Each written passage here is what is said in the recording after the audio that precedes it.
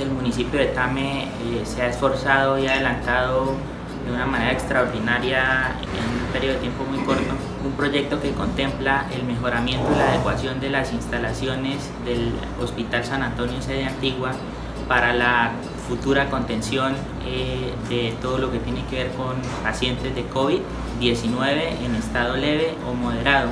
El punto tiene que ver con un proyecto eh, que formuló el municipio de Tame eh, para la adquisición de unos equipos médicos para la atención futura del COVID. El gobernador hoy nos dio la buena noticia que nos iba a ayudar a agilizar el visto bueno. Lo único que requerimos, que nos hace falta es un visto bueno por parte de la Unidad Administrativa Especial de Salud de Arauca. Y nos hace una propuesta, eh, una propuesta sana, una propuesta que va en beneficio de los tameños y es adecuar una parte de las antiguas instalaciones del Hospital San Antonio de Tame.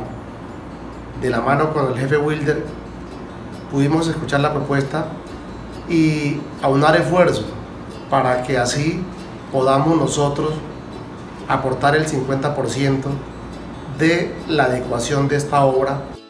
Esta reunión fue muy importante. Eh, la unión de la alcaldía o el ente territorial con la gobernación eh, da como resultados eh, ir encaminados a combatir un mismo enemigo que es eh, el COVID-19.